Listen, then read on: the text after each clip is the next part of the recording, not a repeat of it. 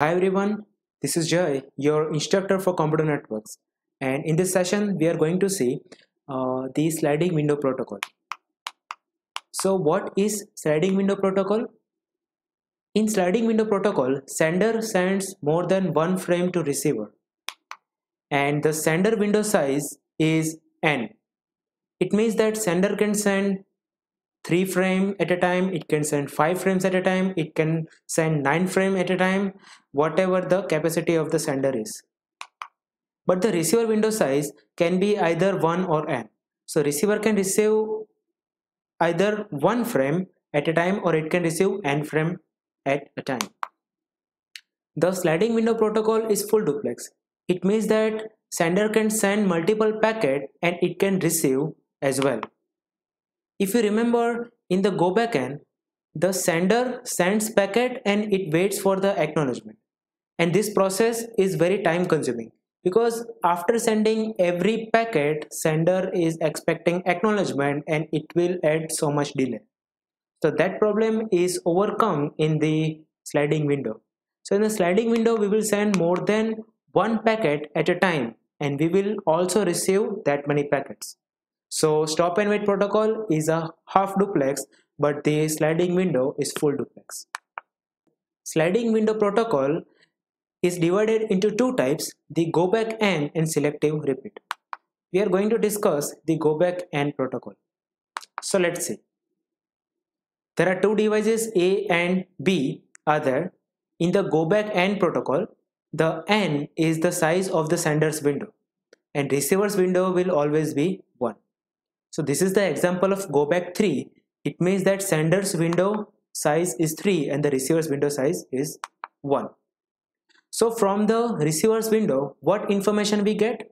The current position of the receiver's window will tell you that what packet receiver is expecting.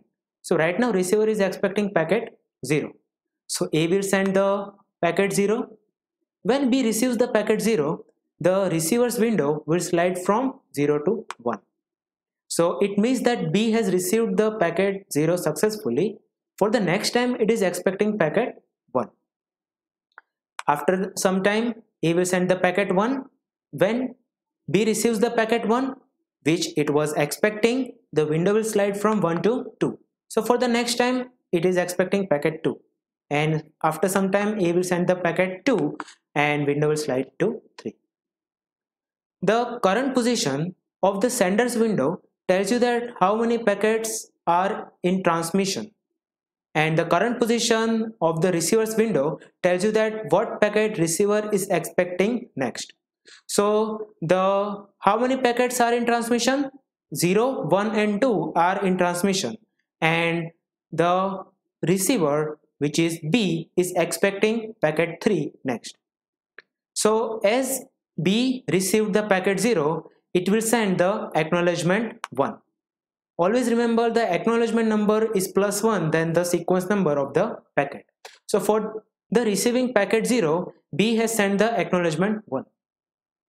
Now when A receives the acknowledgement 1, A thinks that okay, the packet 0 is received by the device B successfully, so the window at the sender side will slide and A will send the next packet in the sequence which is packet 3.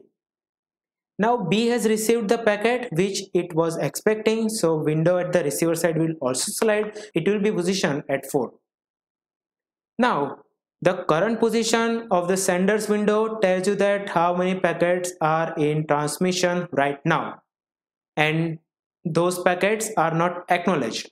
So what is the current position of the sender's window? The current position of sender's window is 1 2 3 it means that packet 1 2 and 3 are in transmission currently and sender has not received acknowledgement for those packets. And what is the current position of receiver's window? It is 4 so it is expecting fourth packet next. So b will send the acknowledgement 2 for the packet 1 as the a receives the acknowledgement 2 a knows that its packet 1 is received by B successfully. So window at the sender side, window at device A side will slide and A will send the next packet which is packet 4. as B receives the packet 4 the window will slide to 5 because it got the packet that it was expecting and A will receive the acknowledgement 3 for the packet 2 so when it receives the acknowledgement 3 it knows that packet 2 is delivered successfully. So it will send the next packet which is packet 5 and window at the receiver side will slide to 6 now let's see the current position of A's window which is 3 4 and 5 so 3 4 and 5 packets are in transmission currently. We have not received any acknowledgement and we are expecting packet 6 at the receiver side. So we will receive the acknowledgement for the packet 3 which is ACK4 so window at the sender's side will slide. So sender will send the next packet which is packet 6 B receives the packet 6 so window will slide to 7 then A will receive acknowledgement 5 as it receives the acknowledgement 5, window will slide and A will send the next packet which is packet 7. And as B receives the packet 7, the window will slide. So right now B is not expecting any more packets. But A has not received all the acknowledgement. Right now, three packets are in transmission currently, which are 5, 6 and 7. We have not received acknowledgement for 5, 6 and 7 packets. So A will wait for acknowledgement as it receives the acknowledgement for packet 5 which is ACK6 so window will slide and there is no new packet which needs to be transmitted so it will not send any other packet. Again it will receive the next acknowledgement so window will slide and now it has no packet to send. So this is how the go back N works. We have not considered any packet lost or acknowledgement lost. But now let's see what happens if acknowledgement lost or packet is lost. So let's see first what happens if the acknowledgement is lost. Again this is go back 3. We know that the n represent the size of the sender's window. So sender window is 3 and in the go back N receiver's window will always be 1. Now we know that B is expecting packet 0. A will send the packet 0 as it receives the packet 0 the window will slide to 1 at the receiver side then after a will send the packet 1 then b will receive the packet 1 and window will slide to 2 and a will send the packet 2 and b will receive the packet 2 and it will slide to 3 the current position of the receiver's window is at 3 it means that it is expecting third packet for the next time. And current position of the sender's window is so 0, 1 and 2 are in transmission right now. So for the packet 0, B will send the acknowledgement 1 and as the A receives the acknowledgement 1, A knows that its packet 0 is received by device B successfully. So window will slide at device A side and A will send the next packet which is packet 3. But unfortunately, the packet 3 is lost in the network. Now packet 3 is lost in the network so device B is expecting packet 3 and it has not received yet but A will receive the acknowledgement for the packet 1 first so for the packet 1 B will send the acknowledgement 2 and as the A receives the acknowledgement 2 the window at the sender side will slide and A will send the next packet which is packet 4 now you can see that B is expecting what packet? The packet 3, right? But it is receiving which packet? The packet 4.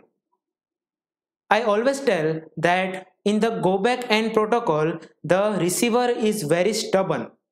So receiver is supposed to receive the packet what it is expecting. If it is not receiving the packet that it's expecting, so it will discard that packet simply. So as it receives the packet 4 and it is expecting packet 3 it will discard the packet 4 and and A will receive the acknowledgement 3 and window will slide and A will send the next packet. Again B is expecting packet 3 but it is receiving packet 5 so it will simply discard that packet and it will continuously wait for packet 3 so receiver B has not sent any acknowledgement for the packet 3, A will wait for the acknowledgement 4 and it will continuously wait and it will wait until the timeout time. So after the timeout time, A will not receive any acknowledgement for the packet 3. So what A will do in this case?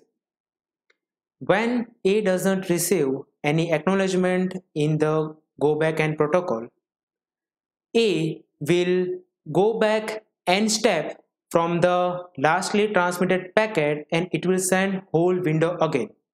So in this example, which packet was transmitted last? The packet 5. And what is the window size? Which is 3 because it is go back 3.